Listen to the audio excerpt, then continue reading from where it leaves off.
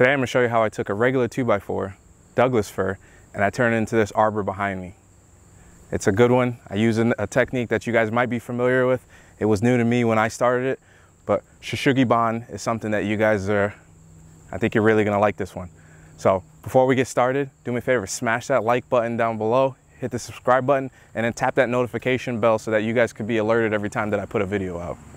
So without further ado, let's get into it.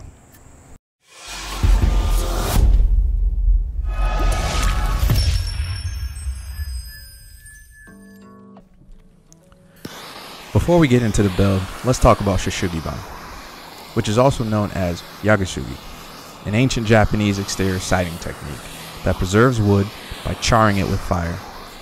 And typically this is done to Japanese red cedar, but in recent times, we've seen this performed on all different species of wood.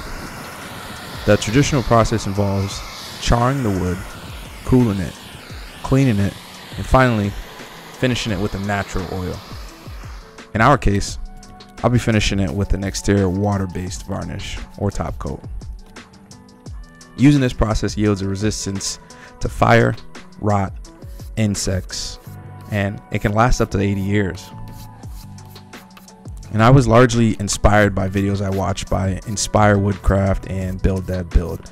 And I'll throw cards up top and links in the description to both of them. Now let's get back to the build. And as always, the first thing to do is to start breaking down the rough lumber and cutting it to size.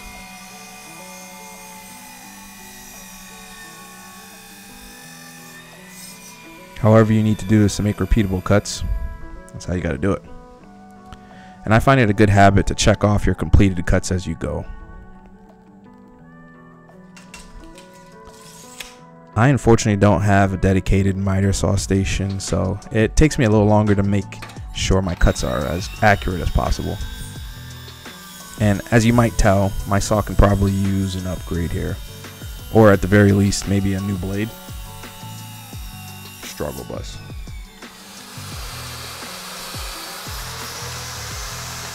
After cutting everything to size, I make my trussels, and I did this by splitting 2x4s on my table saw.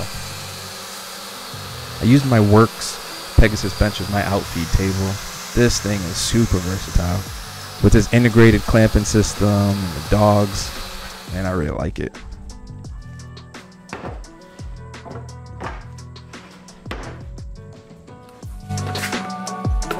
Now let's talk detail. I made a template out of some scrap plywood to trace onto the ends of my beams and again using my Worx table to keep it steady have I said that I really love this thing?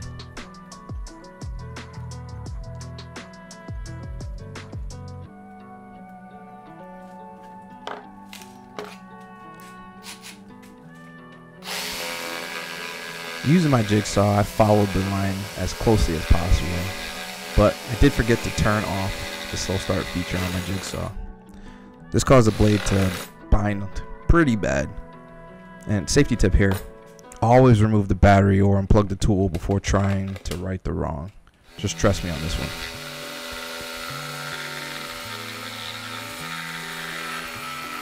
Working a lot better now.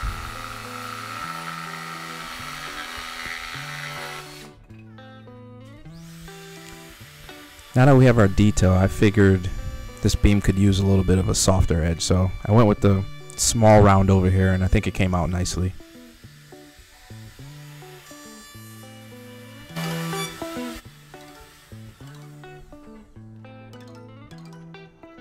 Next, we move to my assembly table uh, where I'm marking off both legs in preparation for the trellises.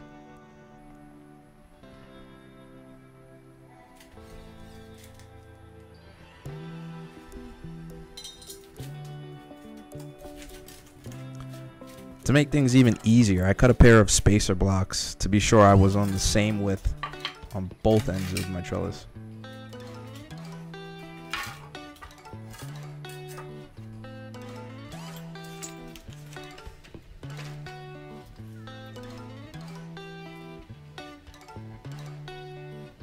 I used glue and exterior screws on each trellis to make sure that everything was going to be secure and outdoor ready.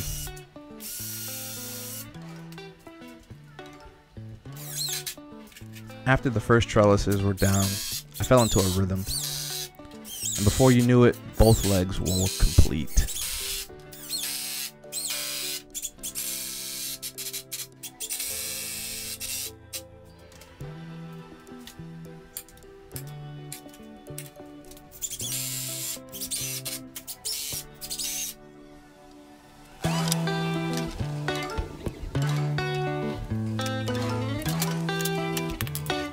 Brought all pieces outside to begin dry fitting, and for some reason, I thought shimming it and standing the legs up against the ladders would help me align for my holes on the beams.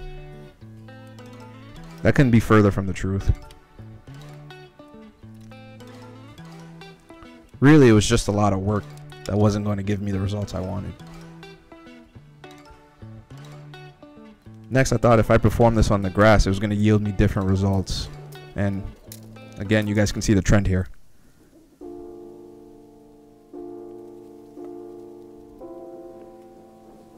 After about 30 minutes of repositioning, I finally figured out I made a huge mistake. I thought I caught it on camera, but I guess I didn't. I built the legs based on the outside width of the beams, not the inside. All of this was for naught.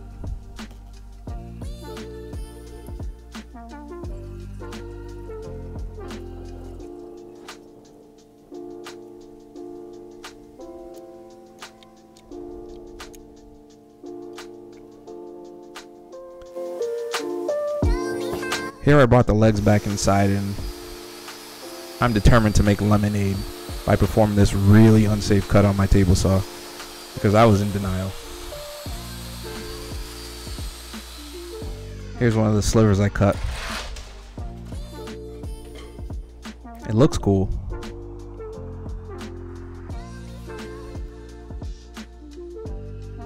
I set up the legs and as I'm looking at it, guys, it looked terrible. Well, let's try this again. This time I was smart enough to build my legs inside the beams. So I was sure it would fit.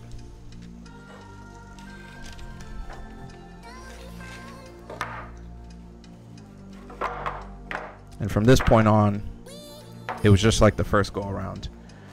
And I won't bore you with that again. But the moral of the story here is mistakes happen. We just have to regroup and reboot.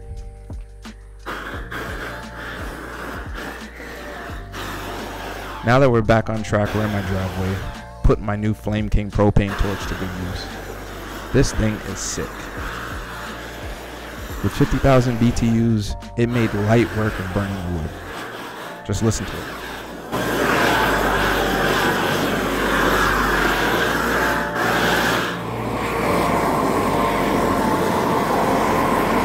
After burning and cooling the wood, it's on to the cleaning process. Many sources recommend a wire bristle brush. So that's actually what I used.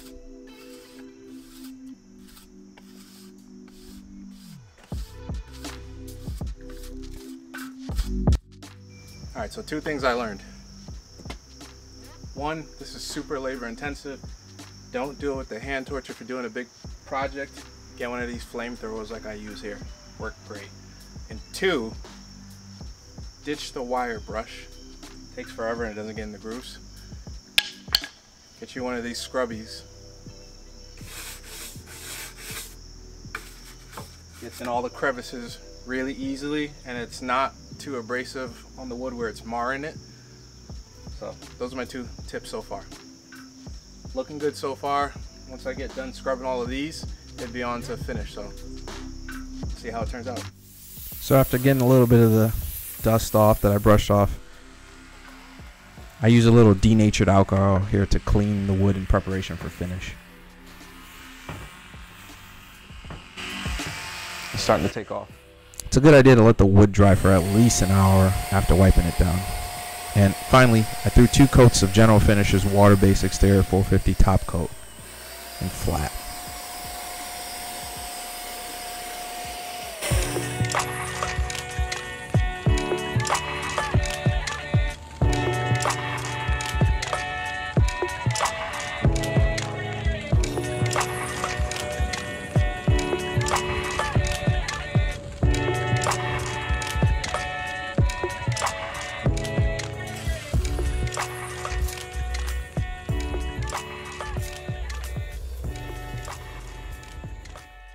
Hey, so it's a wrap for this one, guys. We made it. I think it came out awesome. To be honest with you, the Shou Sugi Ban technique is something that I've been looking at for a while and I was a little too nervous to get into. I'm so glad that we tried it out.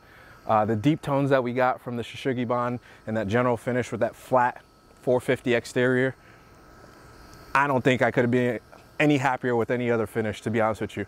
Um, this project was challenging, but we learned something. I think I want to do some more uh, Shou Sugi Ban in the future. Let me know in the comment section below what you think about this project. Tell me if you like it. Tell me if you don't like it. Tell me if there's other projects that you think that would look cool in Shou Sugi Ban that you want me to try out. I'm open for all suggestions. Uh, honestly, smash that like button. This is Ready, Set, Build It, guys. I'll let you take one more look at this before we get out of here.